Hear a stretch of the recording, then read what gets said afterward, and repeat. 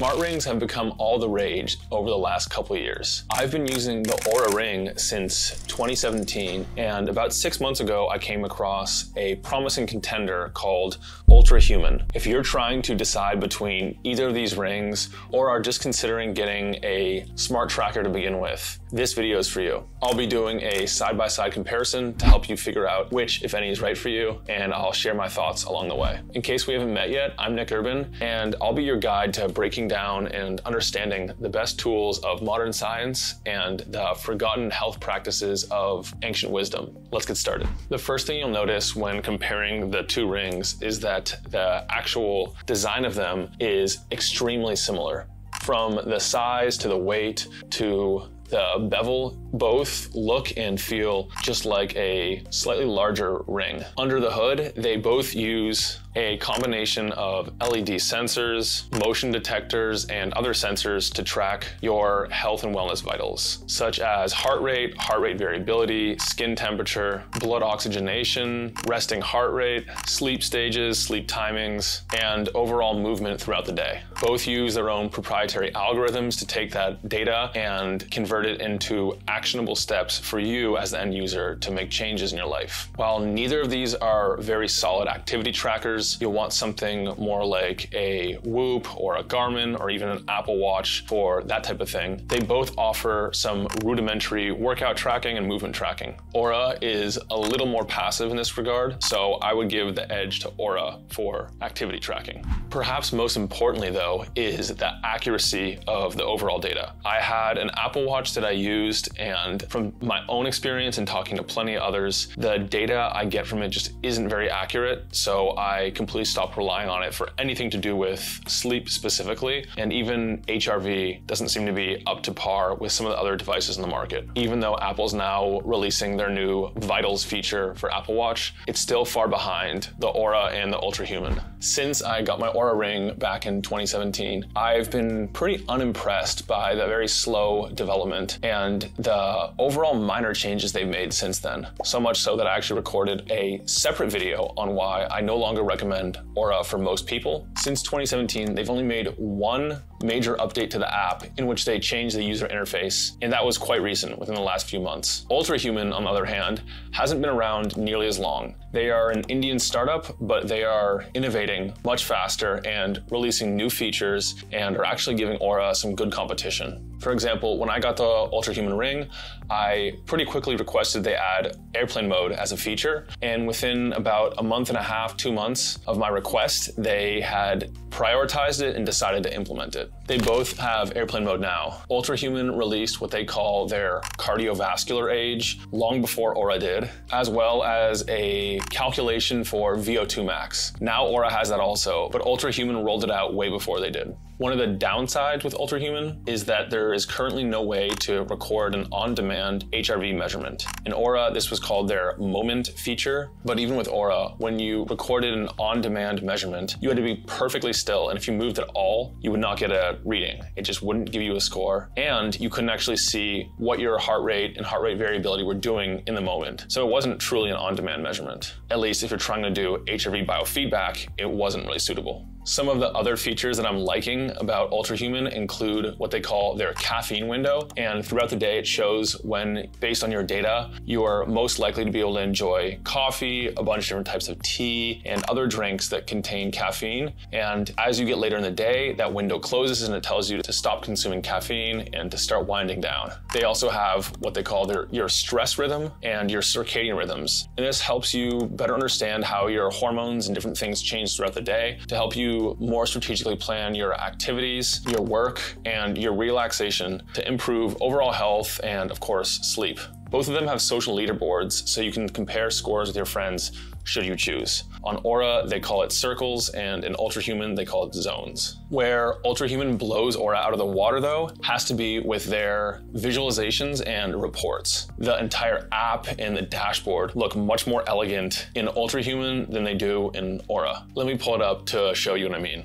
So right here, you can see what the homepage looks like. You can see a movement score at a glance. You can see your stress rhythm and when you should be stressed and shouldn't be stressed, along with a description of what to do about it. And you can click into any of these should you choose. So you can see the metrics that are related to whatever score that is. So if I click into stress rhythm, I can understand how much time I've spent in each of these zones and what to do about that. You can see your recovery score, your sleep score, your sleep debt. Wow, that's a very high heart rate right now. you can see your cardio age, your temperature deviations, all this stuff right here at a glance. You can click into any of them and see longer term trends. You can see that Ultrahuman also detected a walk that I went on this morning. And to add it, all you have to do is click the add button, just like that. You can get stats about your movement. And to check out other days, you can just swipe to the left. All right, that is Ultrahuman. Now let's pull up Oura. So this is the latest Oura app.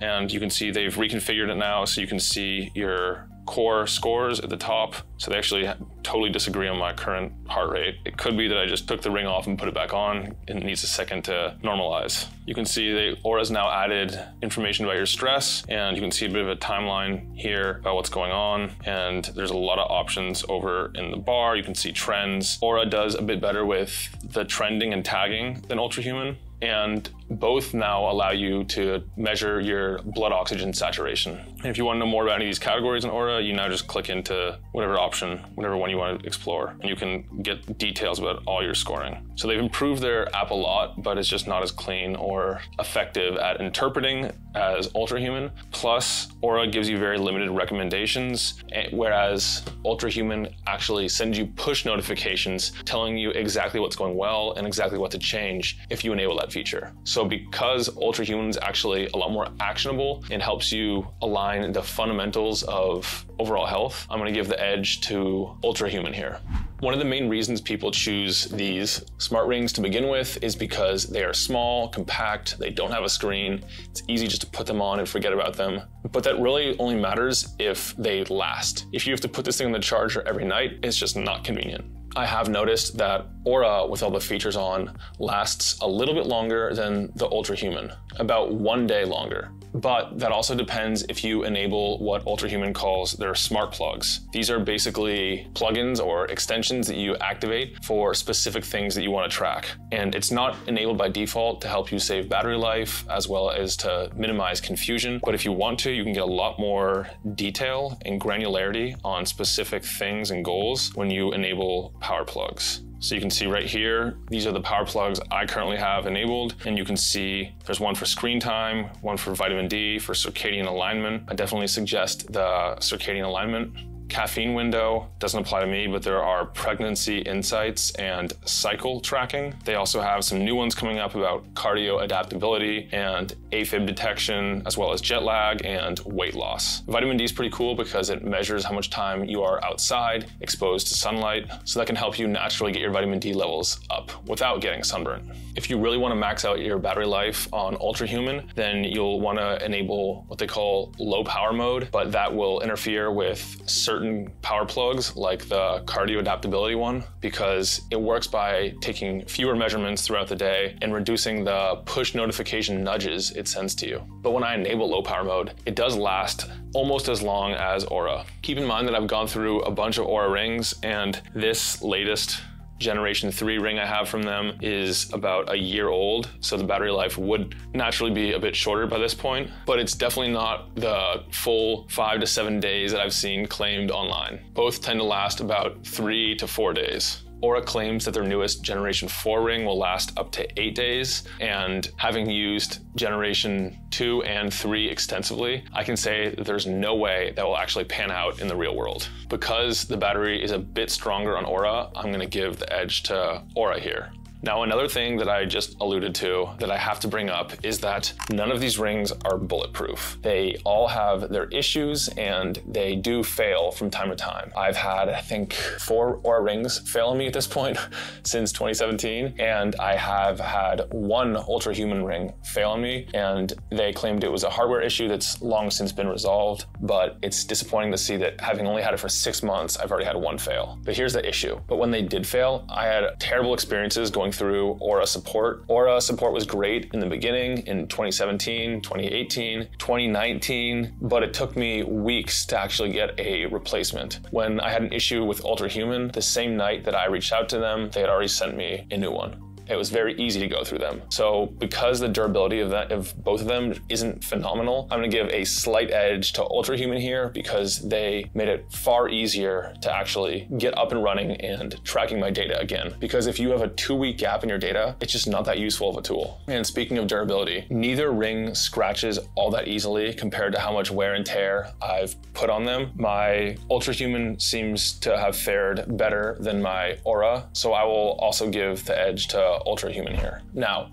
one of the other huge factors that really is making Ultrahuman a standout platform, in my opinion, is their integration with other systems. Ultrahuman now offers a continuous glucose monitor, and you can even order blood lab testing directly through their app. At least when I was in India, that's what I did, and it was very comprehensive, yet still cheaper than any blood testing I could find in the US. They're also releasing a home monitoring solution, which will help you better understand and optimize the air in your home. All of this data integrates together into their one app and it gives you the more comprehensive view of your overall health. So what Ultrahuman's doing is they're really building a platform that you're not getting with Oura. So the future of Ultrahuman to me looks a lot more exciting than the future of Oura. By the way, when they announced their V4 updates and upgrades, they are changing just about nothing except for the battery life of the Oura, further affirming that they are not innovating at the pace that they should to retain the top spot in the market.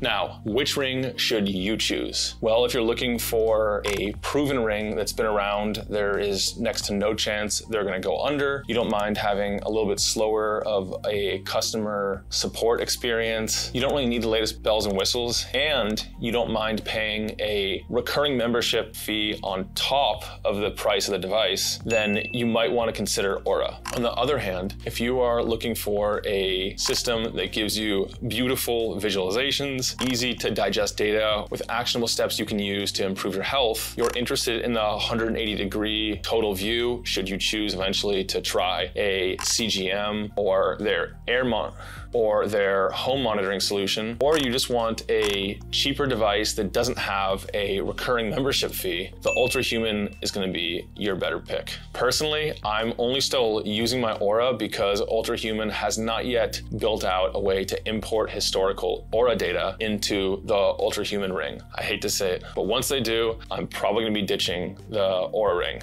And if you want to check out the differences between the two, I have written several reviews on the different Oura models, as well as a new review of the Ultrahuman Ring, which I will put in the description for this video. And if you just can't decide on either of them, there is a rumor that Apple will be creating their own smart ring, so you could stay tuned for that, but it won't be out for probably at least another year and a half, maybe two years. I'm curious though, if you've used any of these smart rings or you've encountered deal breakers in either of them, I'd love to know your thoughts. Drop a comment below. If you want to see more product reviews and my thoughts on popular biohacking gear, don't forget to subscribe and hit the thumbs up. So, when I went about evaluating the accuracy of these devices, I used several different things. First, I used my intuition. How am I feeling? If a device tells me I slept terribly, but I wake up feeling great, I often know better. Then I used the Ultrahuman ring, I used the Oura ring, I used the Apple Watch, and I even have an Eight Sleep. And I checked to see how all of the scores correlate.